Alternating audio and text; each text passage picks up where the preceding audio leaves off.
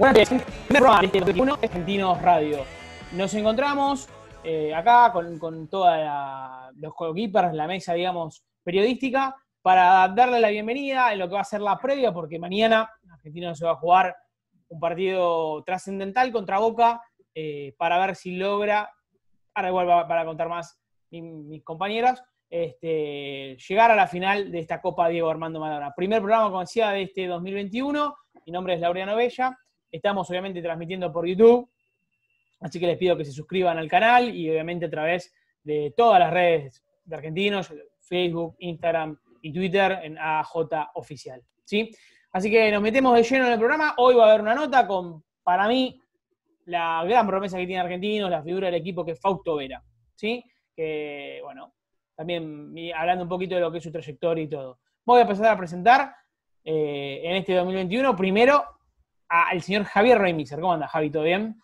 ¿Cómo va, Laureano? Bueno, eh, ya es muy tarde para decir felicidades, pero bueno, ojalá que este 2021 eh, nos dé alegrías a, a la gente de argentinos y bueno, a- al, al mundo en sí y terminemos de una buena vez con esta pandemia que nos viene azotando ya desde hace un año. Ojalá que, que todo sea un poquito mejor. Y hace un año que Argentinos estaba ahí puntero en el receso de la Superliga pasada y hoy lucha por, por también llegar al partido definitorio por, por una estrella más. Esperemos, no depende de Argentinos, hay que aclarar esto también y ahora lo va a contar mejor. ¿A quién voy a presentar ahora? Y después me lo va a contar a la señorita Juliana Pascuali. ¿Cómo anda, Juli? ¿Todo bien? Hola Lau, Javi, Roxy, bueno, y a toda la gente, un placer volver a estar acá eh, en un nuevo año acompañándolos. Perfecto, y, y seguramente nos va yendo a otra punta de la capital, porque todavía seguimos con distancia y todo. La señorita Roxana Fritic, ¿cómo andas, Roxy? ¿Todo bien? Bueno, hola Lau, hola Mesa, ¿cómo andan? ¿Todo bien? Primero, feliz año para todos los hinchas argentinos. Esperemos que este año empiece de la mejor manera, mañana con un lindo regalito, ¿por qué no? Eh, y bueno, eh, ahora hablar en la mesa so- sobre lo que se viene. Sí, además, lo que se viene y nos vas a contar lo que pasó con las chicas, con el femenino, que también puede ser un día histórico para el femenino en este triangular que están disputando, ahora me vas a contar. Pero primero, quiero hablar de Primera División. Mañana juega Argentinos con Boca, ¿sí? Eh, al momento que estamos haciendo el programa no está definido el horario, igualmente sería a las 21.30, si no, bueno, sepan disculpar por este tema que está pasando el, país y el, tema de la pandemia, puede ya haberse modificado, pero en principio, a la hora que estamos grabando, el- todavía es a las 21.30 el partido. Contame, ¿qué tiene que pasar, Juli, para que Argentinos clasifique a la final que se va a jugar en San Juan? Bueno, partido especial eh, mañana porque Argentinos sí o sí tiene que ganar para seguir soñando con la, la Copa Diego Maradona, pero también tiene que estar atento a otro partido, es el partido de River que no tiene que ganar y acompañar ese resultado para que Argentinos sí o sí pueda estar en la final. Excelente. El partido, los dos partidos van a ser simultáneos. eh, se van a jugar, obviamente, a la misma hora para que no haya ventaja deportiva. River con Independiente, no, con que no gane el equipo de Marcelo Gallardo y Argentinos gane, bastará para, para clasificar. Diga Javi, algo, algo que quiere sumar, me parece. Aclaramos importante, River venía jugando de local en cancha Independiente. River juega con Independiente como local, van a jugar en cancha de Banfield. ¿sí? River es local de Independiente, Independiente se quedó hace menos de 24 horas sin director técnico, Pusineri no es más el técnico de Independiente, lo cual le pone un condimento especial al partido. Vamos a ver qué pasa con que River no gane, empate o pierda, da lo mismo, eh, y Argentinos logre un triunfo, aunque sea por la mínima, Argentino va a estar jugando la final, tiene tres posibles rivales, Talleres, Banfield o Gimnasia, eh, puede pasar cualquier cosa. ¿eh? Encima, Vamos a... En el otro grupo, ninguno de los tres que tienen chances juegan entre sí. Exactamente, son tres partidos, distinto al nuestro que este, son dos partidos con tres rivales entre sí. Exactamente, eso va a ser el día domingo, pero bueno, para eso primero tiene que ganar Argentinos y no hacerlo el elenco millonario. Pero antes, el, día sábado, puede pasar algo muy eh, especial también, porque juegan las bichas, juega el fútbol femenino de 11. Contame, se está disputando en el medio del programa básicamente el triangular final. Eh, contame, contale a mí, Roxy, a la gente, quiénes participan del, triangular para aquellos que no, no siguen el fútbol femenino y qué tiene que pasar para que Argentinos obviamente siendo la primera división. Sí, así como decís vos bien, Lau, eh, la semana pasada, el sábado pasado, las chicas consiguieron de forma medio agónica eh, clasificar un triangular para eh, disputar quién va a ascender a la primera división. Argentinos necesitaba ganarle a Defensa y Justicia, cosa que hizo en el CEFI por goleada, y esperar que Banfield y Español, que jugaban entre ellos, empataran para igualar en puntos y así disputar un triangular, un triangular final, así se dice. En la semana, el lunes creo, se sorteó que Argentinos jugaba primero contra Banfield en cancha de Español, e inmediatamente, sin importar cómo sale ese partido, iba a jugar contra Español el sábado en cancha de Banfield. Y esperar a la última fecha, entre que iban a jugar en el CEFA probablemente, eh, Español y Banfield, y así el que mejor, mejor se posicione en ese triangular, eh, clasificarse y ascender directamente a la máxima división del fútbol argentino. Eh, por suerte, Argentinos logró obtener una victoria el miércoles, eh, empezó perdiendo con Banfield 1 eh, a 0 en cancha de Deportivo Español, pero afortunadamente lo pudo dar vuelta. Primero Agustino Chussi en el primer tiempo y Nati Tevez en el segundo pudieron dar vuelta al resultado y conseguir el 2 a 1, que hace que si el sábado las bichas le ganan a Deportivo Español en el predio de Luis Guillón, donde Banfield hace las veces de local, directamente asciendan. Muy bien. No sé si quieres sumar algo, Javi, a esto. Eh, agregando a lo que muy bien dice Roxy, el triangular es neutral, pero usaron las tres canchas de los equipos que participan. ¿sí? El equipo que queda libre en cada fecha dio su predio o su cancha para poder jugar, por eso jugamos en cancha de español el primer partido, en la cancha titular o en la cancha de primera división de español. Lo que no nos gusta a los, a los amantes del fútbol es que un triangular se sortee de esta manera, con los partidos ya determinados, porque Argentinos ahora tiene que jugar y tener, a ver, está obligado a ganar. Pues, ¿Por qué les digo esto? Porque un empate lo podría dejar muy bien posicionado. Pasa que un empate ya deja fuera de carrera Banfield completamente porque no puede alcanzar la línea de argentinos y podría tranquilamente jugar a media máquina contra Español, que si ganara por dos goles superaría a Argentinos y ascendería. Bueno, en cambio, deportivamente tienen la necesidad de ir para adelante, digamos, o conseguir un resultado favorable independientemente que a ellas no lo favorezca. Obviamente, pero cuando sabes que no, no, tenés chance de ascender, la cabeza juega, ¿sí? Eh, Además de la ventaja física, los, los, todos los equipos jugaron el sábado, Argentinos y Banfield jugaron el miércoles, y Argentinos es el único que vuelve a repetir el sábado, con lo cual juegan tres partidos en una semana, es el único equipo de los tres. Sí, además el, esfuerzo que tuvo que hacer para dar vuelta al partido con Banfield fue un partido muy difícil, eh, pero mucha confianza y mucha fe ¿eh? en las chicas. Eh, ya han hecho un gran partido contra, contra Deportivo Español en, el, grupo. Se lo empataron sobre la hora, un gol en offside de más de un metro largo adelantado. Importante, lo dirigió el partido del miércoles Salomé Di Iorio, a nuestro entender, la, mujer árbitro más importante del fútbol argentino. Este, lo manejó muy bien, con mucho, mucha capacidad. Sacó amarillas por todos lados, pero, pero manejó muy bien el partido y, y lo sacó adelante, un partido muy, muy difícil. Así que bueno, estamos a la puerta de algo histórico, un sábado de superacción. ¿eh? Si Argentinos a la tarde gana, asciende en el femenino, y a la noche, si tiene la suerte de ganar y que River no lo haga, va a una final de Copa, una final de Copa después de muchísimo tiempo. Lo vamos a estar hablando después esto. Muy bien, y además también no te quiero preguntar ahora por la foto, lo vamos a hablar después de la nota que vamos a ver ahora, tras este pequeño corte ya después, en, el piso, en el estudio, no sé cómo decirle esto, la nota con Fausto Vera.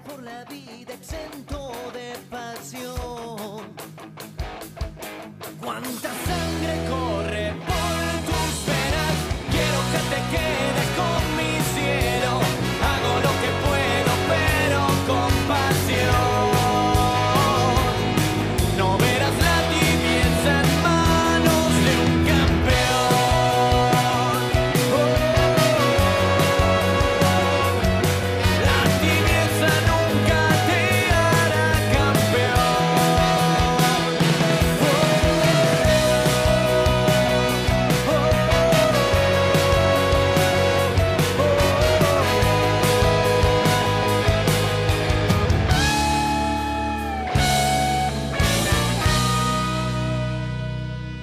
Entrevista al día de la fecha, una persona que queríamos hace mucho tenerla, obviamente, en el programa, eh, no solo porque es una de las figuras del equipo, sino que es una de las mayores promesas que tiene este plantel y este equipo.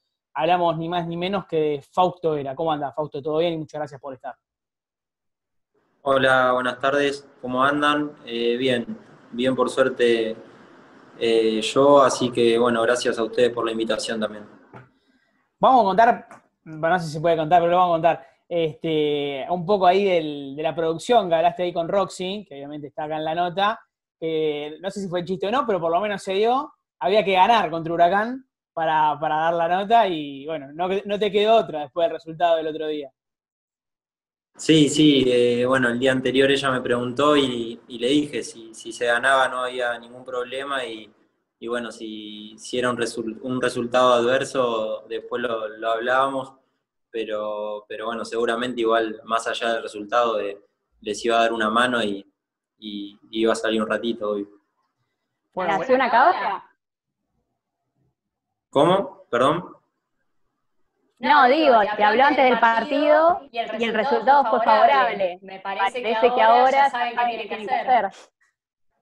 Eh, sí, sí, no, igual Roxy la verdad que, es, es una de las personas que, que siempre, siempre me manda mensajes eh, cuando, cuando las cosas salen bien, eh, también a veces palabras de aliento cuando, cuando no van tan bien, así que bueno, por eso también cuando, cuando me llegó el mensaje le dije que sí.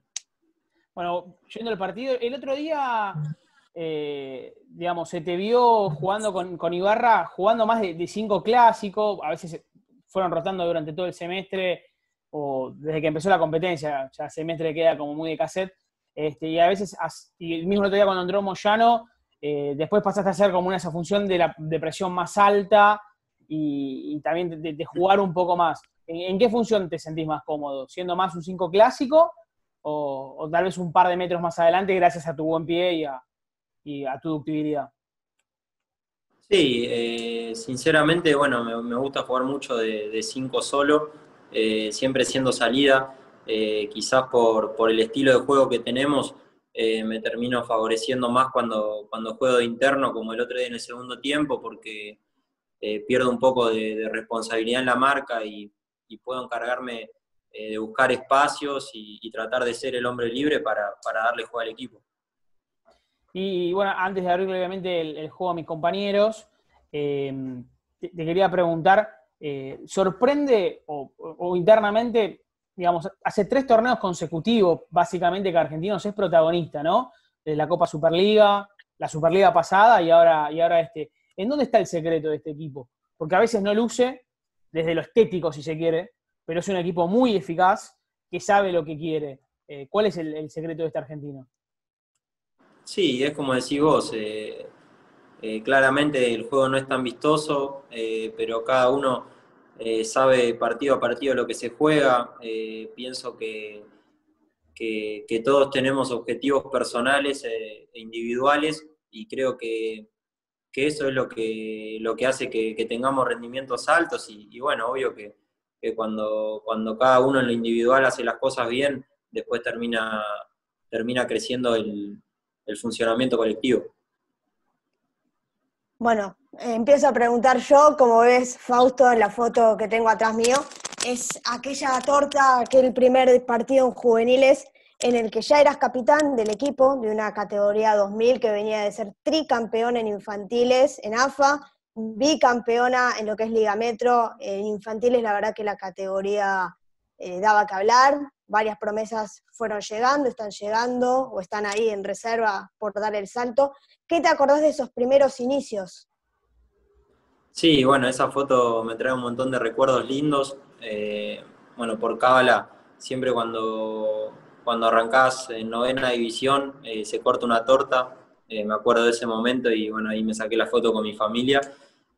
Así que, que no, son todos, todos recuerdos lindos y, y que a uno le van sirviendo mucho para, para lo que le espera en el futuro. En este caso, eh, bueno, tengo la suerte de poder haber llegado a, primera división, eh, obviamente de, de la mano de mucho esfuerzo y sacrificio, así que, que estoy muy contento que, que todo lo que pasé hace unos años esté, esté dándome, dándome satisfacciones ahora. Otra foto para el recuerdo, estamos en Deportes en el Recuerdo. Tu primer partido en el Diego Armando Maradona, también. Me imagino que en novena división ese año cosechaste varios recuerdos, me parece. Sí, ese partido, si no me equivoco, es con Instituto de Córdoba, ¿sí, no? Sí. No, no la, la adiviné porque justo tapabas el, el rival. Eh, sí, sí, eh, me acuerdo. En realidad no fue el primero ese, ese fue el primer partido oficial, pero había jugado dos veces eh, porque cuando fui a hacer la prueba, eh, creo que la, tercera vez que tuve que ir, primero fue en el, en el CEFA y las otras dos eh, se hicieron unos amistosos ahí en, en la cancha de, argentinos, así que, que esa había sido la primera vez. Pero, pero bueno, oficialmente fue con Instituto. De hecho, es algo atípico que las divisiones juveniles jueguen en el Diego Armando Maradona, que un recuerdo negativo. Eh, siempre desde novena división, al menos, no sé desde antes, eh, fuiste siempre convocado a las selecciones juveniles de, Argentina y cuando estaba todo dado para viajar al sudamericano en Colombia, en la sub-15, i- ibas a ser capitán y fuiste desafectado último momento, por, encima por una lesión que es menor, porque creo que era un furúnculo, si la memoria no me falla, y debe ser de los primeros recuerdos negativos que tenés en el fútbol. Sí, eh, sinceramente, eh, bueno, en ese momento me acuerdo que, me apoyó mucho mi familia. Eh, fue duro para mí, pero, pero sentía esa tranquilidad de, que sabía que yo venía haciendo bien las cosas. Eh, como decías vos, iba a ser capitán. eh, tenía, tenía un montón de expectativas de ese torneo porque, bueno, era, era como el, el primer pasito que, que hacen selecciones juveniles y que ya te empiezan a mirar los, los scouts de diferentes países. Eh, y bueno, me quedé también con la tranquilidad de saber que si seguía haciendo las cosas bien, eh, iban a llegar otras oportunidades, ¿no? No, no era el caso de decir eh, no me habían llamado nunca o, no me tenían en cuenta, sino que bueno, por una, una mala suerte de, esa lesión que dijiste vos, me quedé afuera, pero, pero bueno, después creo que, tuve revancha y las pude aprovechar.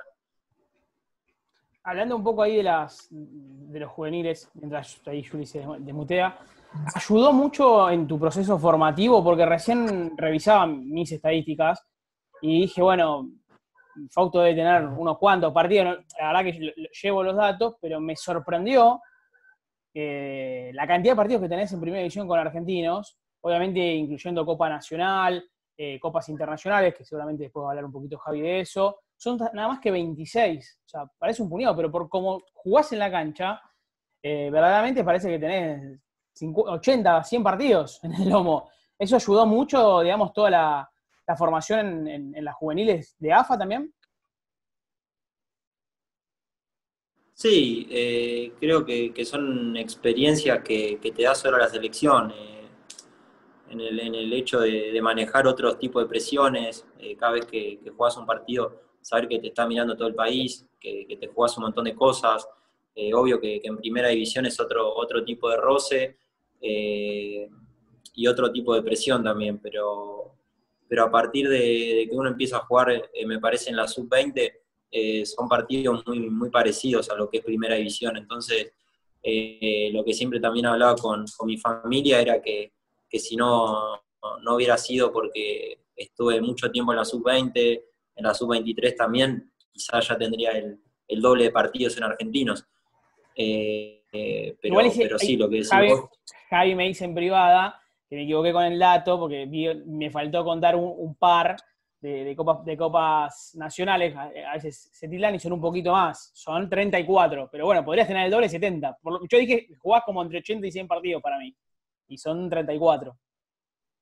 Sí, sí, sí. eh, lo que te decía, ¿no? De que tuve mucho tiempo en la selección y eso me, me ayudó a sumar mucha experiencia y, y sobre todo también confianza con, con uno mismo. Así que eh, pienso que, que todo eso, las. ¿Cómo se mantener la selección de que, va a Dios sentados aquí y peleando por en argentinos cosas? Pero Sí, no, en el año eh, con diferencia decimos eh, ahora el mercado de, hoy, y bueno, ahora lo que arranque el año para, ver si, podíamos eh, conseguir eh, pero sí, eh, lo que me decías vos eh, es un, una concentración extra que, tengo que tener porque, bueno, soy, soy una persona como todos y, todos esos pensamientos y, esos, y esas sensaciones se te pasan todo el tiempo por la cabeza, que, obviamente que, a veces generan ansiedad,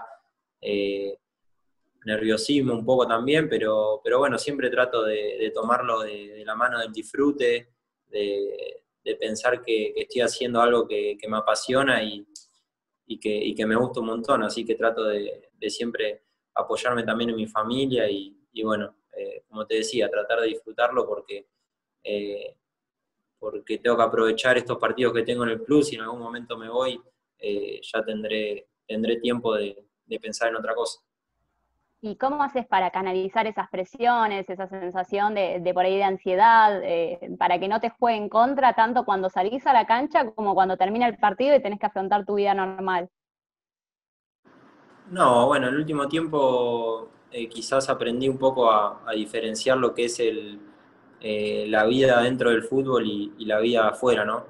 Obviamente que, van de la mano porque tenemos que tener un, cuidado diferente al de, otra persona común, eh, pero bueno, cuando entro a la cancha eh, trato de estar concentrado y, hacer lo mejor posible esos 90 minutos y, y después una vez que termino eh, trato de, analizar y bueno, hayan salido bien o hayan salido mal las cosas, tratar de, de, disfrutar el, el afuera también. Bueno, buenas noches, saludarlo a Fausto, agradecerle por estar del otro lado. Atrás mío, como podemos ver, está la foto de tu primer partido como titular, en Argentinos, en la cancha de Argentinos, contra Independiente, por la Copa de la Superliga. Eh, ese para mí fue un partidazo argentino que ganó finalmente 3 a 2, pero quiero llevarte a los primeros partidos. Te tocó debutar en el último partido de Carboni, aquel partido en cancha de Tigre, ese 1-2, que se empezó ganando con el gol de Ilarregui y entraste en el segundo tiempo. Difícil debutar en una situación como esa, ¿no? Con un técnico que estaba en la cuerda floja, que finalmente se va después de ese partido. ¿Cómo lo viviste vos que eras debutante en aquel juego de, la cancha de Tigre. Sí, bueno, hola Javier. Eh, no, a ver, siempre la, la, sensación del debut eh, es una, una, felicidad muy grande para, para el jugador, más allá de, más allá de cuál sea el escenario, ¿no?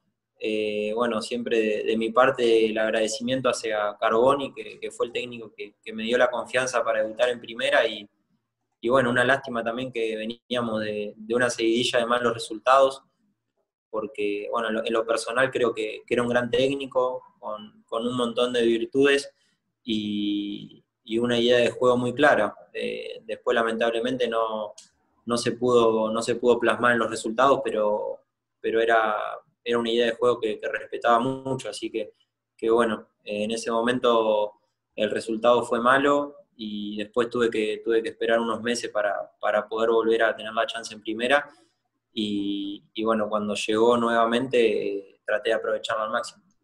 Bueno, jugaste aquel partido contra San Martín de San Juan en San Juan que se ganó 3 a 2, estás en el segundo tiempo y, y final, finalmente evitamos el descenso, pero voy al partido que, que está en la foto detrás mío, el de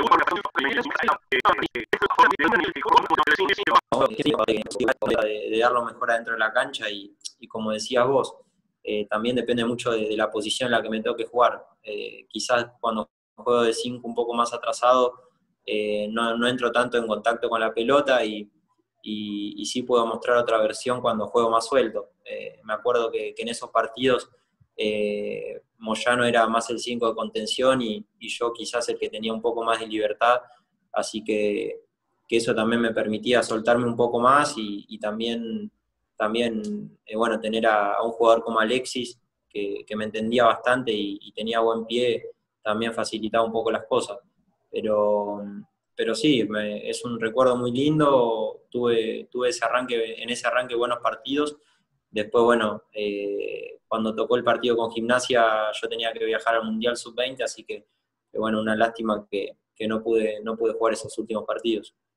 Bueno, eso es lo, que hablamos mucho con, con, con, el equipo siempre, que te ibas asentando y lamentablemente llegaba la selección, llegaba el preolímpico, llegaba el Sub-20 y nunca podíamos terminar de disfrutar el juego tuyo, porque para nosotros el número 5, el volante central, es algo, es una, una marca registrada de Argentinos Juniors.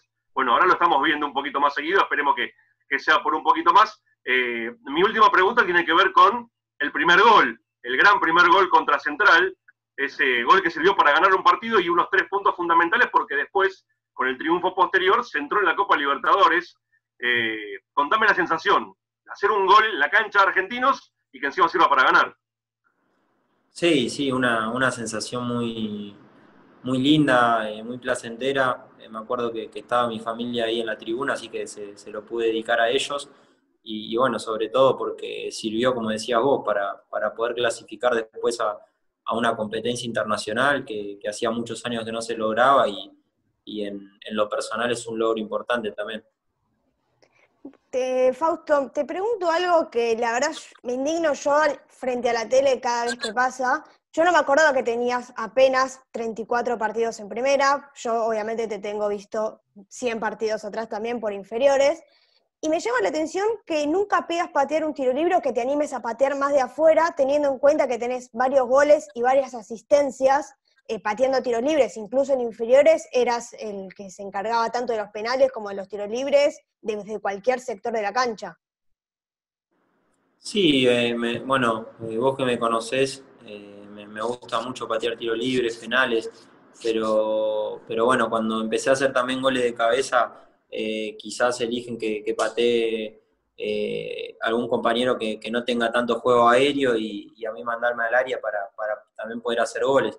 Pero, pero bueno, ahora en los últimos partidos eh, sí empecé a patear, eh, con, con, Independiente pateé un tiro libre, y bueno, de a poco también cuando se presenta la oportunidad trato de, de participar en eso también por, yendo a tus estadísticas muy rápido en inferiores, yo las cuento desde octava porque empecé a contar en 2015 y lo de novena no lo tengo, pero desde octava hasta tu salto a primera te sumaste 81 partidos en inferiores contando reserva y 20 goles, con lo cual el promedio es altísimo.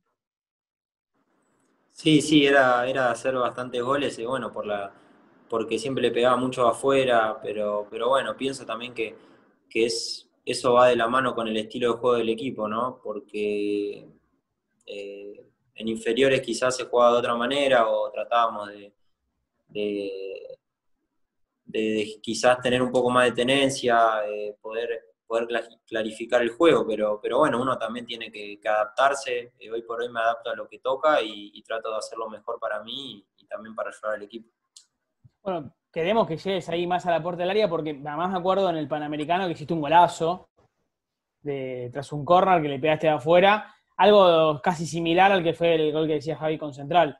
Así que se nota tu muy buena pegada. Y me acuerdo de los primeros partidos, vos decías que jugabas como Johnny hubiera jugabas más libre, que le pegabas más. Eh, también a Argentinos hoy, por la posición en la que ocupa, digamos que es partícipe en los torneos, lo tienen, ustedes sienten que los tienen más estudiados y que les dificultan más cuando ustedes quieren proponer?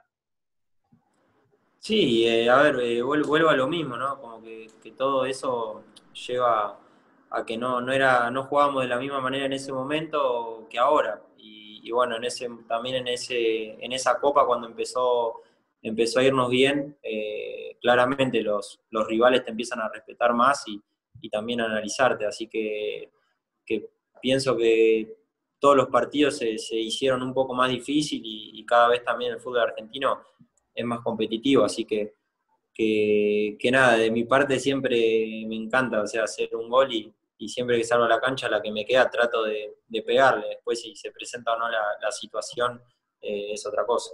No, no, somos de hacer futurología en el, en el programa, y, y, para despedirte, obviamente, la última, no, no, no vamos a hablar, digamos, de qué va a pasar después, ni el partido que viene, digamos, porque no hay que poner presión, por lo menos disfrutamos hasta dónde, hasta, hasta dónde está llegando Argentinos. Eh, yo te pregunto, ¿qué mensaje le das a la gente de Argentinos? Eh, siempre cierro con la misma pregunta para todos, y, cómo te sentís en el club. Sí, bueno, eh, primero arranco con, con la última.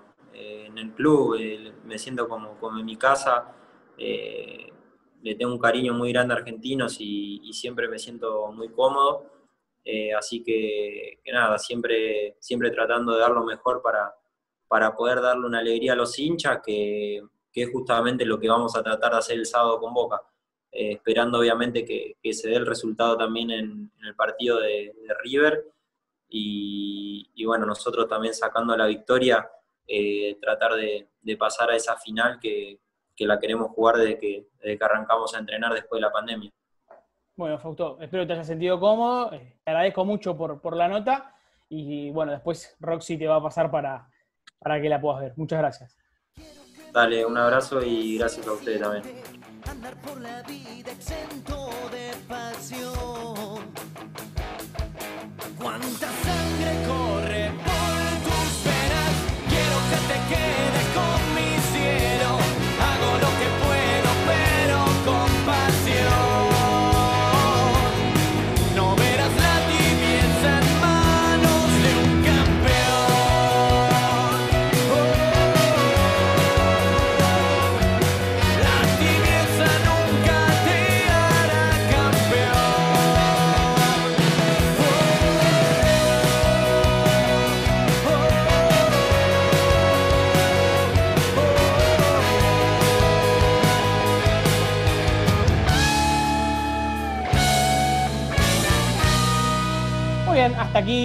palabras que, de Fausto Vera. Eh, realmente muy linda nota para reír. Y además queda colgada acá en el YouTube, así que lo pueden volver a ver cuando quieran. ¿sí? Eh, contame primero, antes de hablar del árbitro del partido de mañana, la foto y digamos, el hecho histórico de, de la jornada, Javi. Bueno, lo que vamos a recordar es que el 30 de diciembre finalizó el torneo de Primera B del año 55, se cumplieron esos 65 años de aquel ascenso de la temporada más larga de Argentinos en la segunda división, fueron 18 años, bueno, atrás mío está, ese equipo que, ascendió de, Primera B a Primera División, Eh, vamos a tener un homenaje en el día de mañana al respecto, y bueno, eh, aparte estamos hablando del equipo que tiene el invicto de local más largo de la historia, ¿sí? con 36 partidos, un poco más de año y medio. Estuvo, perdió en la primera fecha del 54 con Colón 3 a 2 y después no perdió más hasta el cuarto partido de local del 56. Así que tiene más de dos torneos sin perder 36 partidos, 23 triunfos y 13 empates. Eh, creo que es para destacar. Y bueno, eh, este próximo sábado, mañana, vamos a poder ver un, recordatorio al gran equipo del 55 que ascendió el 17 de diciembre, pero el torneo terminó el día 30, por eso el homenaje se hace ahora en el partido contra Boca. Eh, le había ganado 2 a 1 a Quilmes aquel 17 de diciembre del 55 y volvía a la máxima categoría después de 18 años. Contame el equipo, ¿cómo, cómo era, eh, digamos, para los que no saben, caen nombres de medio de Maduro, pero eh, a veces la gente no se lo acuerda de memoria. A ver, acá hay nombres históricos de argentinos y nombres que no tanto. A ver, el arquero era Luz, ¿sí? La saga central eran Mascarelo e Isidoro García, ¿sí? Después, el medio campo era muy conocido y muy famoso al punto de que jugaron los 34 partidos los tres. Di Stefano, Pedersoli y Nape, ¿sí? Y adelante había mucha variabilidad de juego, ¿sí? Jugaba Carbone, jugaba, eh, a veces jugaba eh, Jorge Martín, el Tano Trigili, este, a veces jugaba Roberto López como, como volante o insider derecho, este, eh, jugaba Osvaldo Panzuto, el, puntero izquierdo y el capitán era Mario Sierra, ¿sí? O sea, un equipo que ya venía jugando todos juntos de mucho tiempo atrás, bueno, en ese torneo hicieron este, un torneo épico y nació ese año el famoso apodo del tifón de Boyacá, ¿sí? después de ganarle 6 a 1 a Argentino de Quilmes un partido en la cancha de Argentinos, el diario El Líder tituló este, El tifón de Boyacá arrasa a Argentino de Quilmes y de ahí quedó el mote hoy perdura y bueno, quizá en un futuro sea el tifón de Diego Armando Maradona si le cambian el nombre a Boyacá. Vamos a ver qué pasa con eso. Bueno, y yendo ya al partido de mañana, donde Argentinos va a enfrentar a Boca, y la- tenemos obviamente árbitro confirmado, que si mal no recuerdo es el señor Fernando Espinosa, ¿no? Fernando Espinosa, sí, cinco partidos dirigió Argentinos, ¿sí? Tres triunfos, un empate, una derrota, un solo partido por Copa, ¿sí? El- el y fue empate- en el 2019, en agosto de 2019, un empate 0 a 0 con San Martín de Tucumán, que después se eh, ganó por penales. Exactamente, ya Ah. ahí, técnicamente Diego Dagobe. Y, y además impresiona un poco, ay, qué feo hablar de todo esto. El- de los cinco partidos, las tres victorias, las tres como local. Contra San Martín San. Juan, en la Superliga 17-18, por el mismo torneo, la victoria con Newells, y en la Superliga pasada el 2 a 1 contra Arsenal. Exactamente, que- como todo tiene que ver con todo, ese triunfo fue el día que se le hizo el homenaje a las jugadoras del año 97. Bueno, mira, ¿quién te Así dice? que todo tiene que ver con todo. Por eso, por eso queríamos cerrarlo por ahí, digamos. ¿Quién te dice? eh, el, el sábado, mañana sábado, digamos, tenemos una jornada histórica. Ojalá y así sea. Por lo pronto nos vamos a encontrar o reencontrar en dos semanas, ¿sí? Tal vez completo y completo, tal vez no, porque bueno, vamos a ir saliendo a poquito de vacaciones.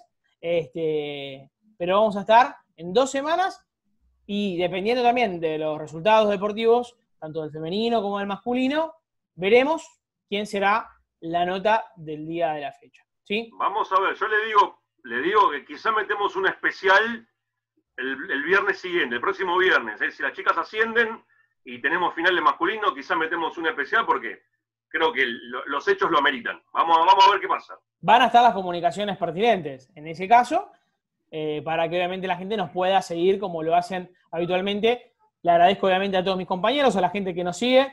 Y bueno, ojalá que mañana sea un día de gloria para argentinos. Les agradezco, nos vamos a estar encontrando prontamente. Que sigan bien. Chau.